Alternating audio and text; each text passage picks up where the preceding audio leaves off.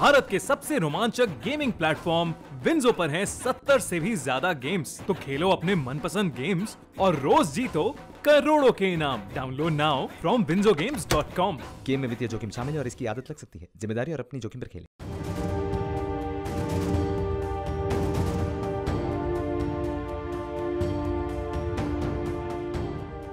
बांग्लादेश को आज़ाद कराने में भारत की अहम भूमिका रही है और अब बांग्लादेश अपनी आज़ादी के 50 साल पूरे कर रहा है। इस खास मौके पर भारतीय सेना बांग्लादेश में मिलिट्री ड्रिल में हिस्सा लेने जा रहा है। ये मिलिट्री ड्रिल 4 से 12 अप्रैल के बीच होने वाला है। इसमें भारत के साथ श्रीलंका, बांग्लादेश और भूटान की सेनाएँ हिस्सा लेगी। कमीशन अधिकारी और सैनिक शामिल होंगे। रक्षा मंत्रालय ने कहा है कि शांतिर अग्रसेना अभ्यास में भूटान और श्रीलंका की सेनाएँ भी भाग लेंगी। इस सैन्य अभ्यास में अमेरिका, ब्रिटेन, तुर्की, सऊदी अरब, कुवैत और सिंगापुर के मिलिट्री सुपरवाइजर भी शामिल होंगे।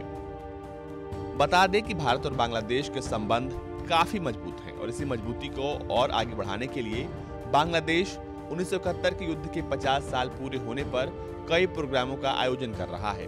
भारतीय सेना और बांग्लादेश की मुक्ति वाहिनी के सामने करीब तिरानवे हज़ार पाकिस्तानी सैनिकों ने 16 दिसंबर उन्नीस को आत्मसमर्पण कर दिया था। इसके बाद बांग्लादेश के जन्म का रास्ता साफ़ हुआ था। इससे पहले पीएम मोदी ने 26 और 27 मार्च को बांग्लादेश का दौरा किया था। बांग्लादेश की अपनी इस यात्रा में प्रधानमंत्री मोदी ने बांग्लादेश और भारत के बीच पाँच महत्वपूर्ण समझौतों पर हस्ताक्षर किया था।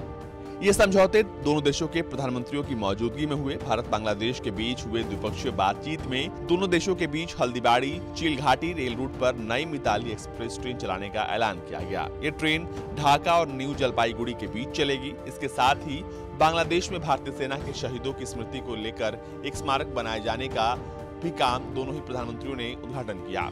ट्रेड और आईटी इंफ्रास्ट्रक्चर के क्षेत्र में भारत किस तरह से बांग्लादेश का सहयोग करेगा, इसको लेकर भी समझौता हुआ। दोनों देशों के बीच हुई द्विपक्षीय बातचीत के बाद बांग्लादेश में बन रहे रूपपुर परमाणु पावर प्लांट के इंफ्रास्ट्रक्चर डेवलपमेंट में भारत की अधिक भागीदारी हो, इसके लिए भी आगे ज़ोर दिया गया।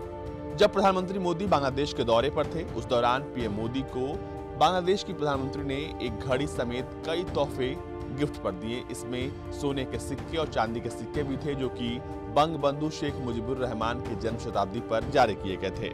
इसके साथ ही उन्होंने बांग्लादेश की आज़ादी की 50वीं सालगिरह पर जारी हुआ एक चांदी का सिक्का भी पीएम मोदी को भेंट के तौर पर दिया था। भारत और बांग्लादेश आपसी रिश्तों को और अधिक बेहतर बनाने के लिए लगातार प्रयासरत हैं। दोनों इस दिशा में तेज़ी से काम भी कर रहे हैं। भारत ने भी इस दिशा में काफ़ी बेहतर प्रयास किए हैं। ब्यूरो रिपोर्ट भारत तक